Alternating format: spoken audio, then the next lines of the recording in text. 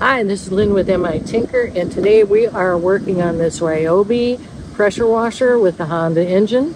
Uh, it's a gas-powered uh, pressure washer that was only used once, and then it was let sit with the gas in it, and now it won't start.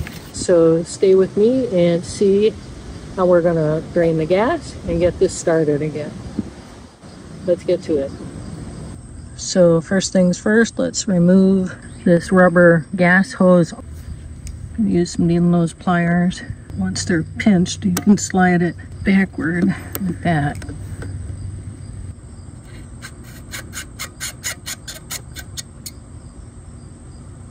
It's going to start gushing.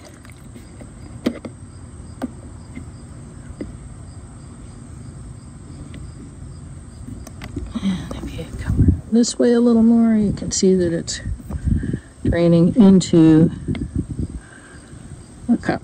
All right, that's the last of it. wasn't too much. I'm gonna try and tip it to see if any more comes out.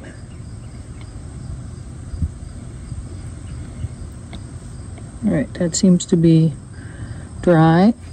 Okay, now we're gonna take a look at where the carburetor is. And it is right here. But we'll take that nut off and see if there's any gas left to drain in the carburetor. I have a low profile 10 millimeter socket wrench. Got a rag ready. Hopefully there's not much in there.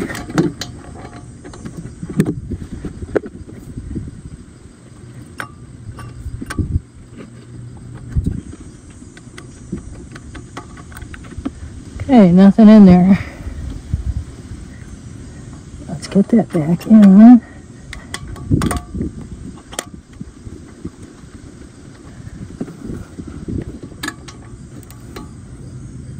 Okay, get that in.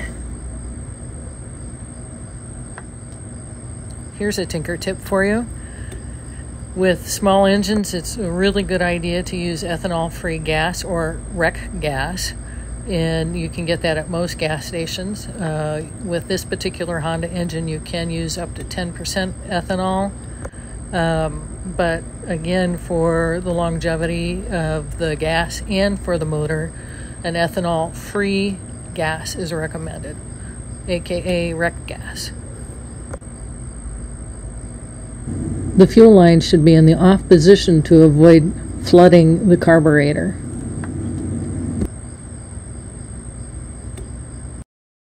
Time for fresh fuel. And I'm just going to put a little bit in, enough to get it started.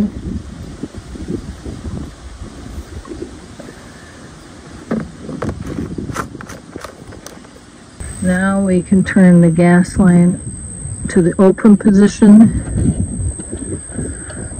We can put it in this choke position and turn the engine on.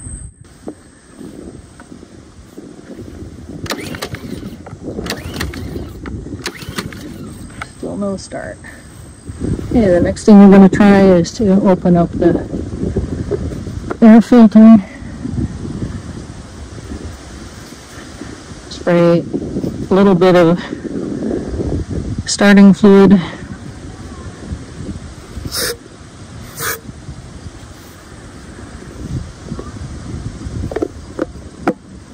Now let's give it a try.